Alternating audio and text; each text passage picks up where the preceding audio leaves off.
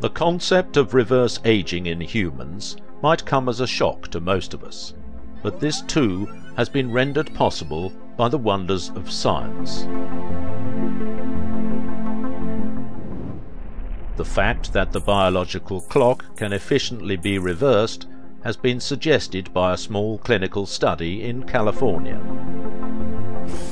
The experiment included nine healthy participants who were given a mixture of drugs for one whole year. The drugs essentially included one growth hormone and two diabetes medications to balance out the changes taking place in the participants' mechanisms.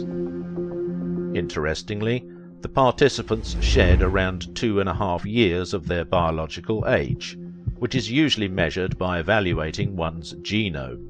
In addition, they showed signs of a revived and enhanced immune system. The results of this experiment took everyone by shock, including the researchers. They expected a slowing down of the clock, meaning staggered aging, not a literal reversal. The researchers were cautious about their findings because of the small-scale trial and didn't have a control group. More trials are needed to replicate the results. The epigenetic clock of the body, which is also known as Horvath clock, is made up of chemical modifications, including methyl groups that tag DNA and can alter it during the course of life.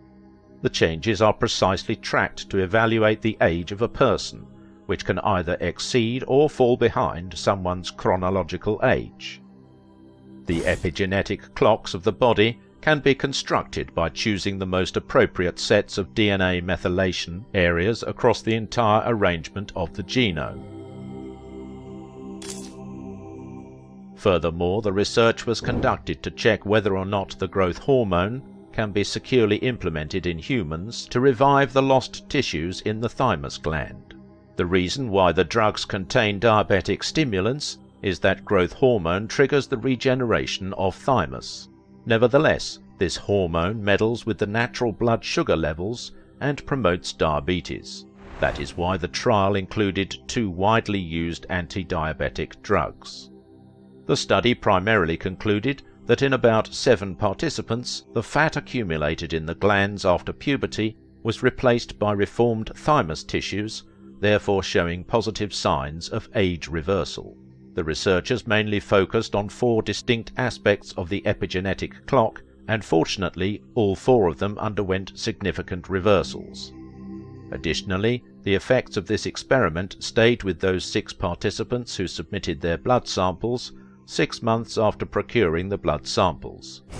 Evidence from previous research has shown that the regeneration of the thymus can prove beneficial to people who have been living with a hyperactive immune system, especially the elders. Persistent diseases like pneumonia that have been causing most deaths of people over 70 years can potentially derive the fruits of the age reversal technology. Moreover, with the swelling of immune cells in the blood, a terminal disease like cancer too will be impacted upon positively. David Sinclair, one of the leading scientists in the field of aging, believes that growing old isn't a natural part of life, but it's a disease that needs a cure. Thanks for watching. Did you like this video? Then show your support by liking, subscribing and ringing the bell to never miss videos like this.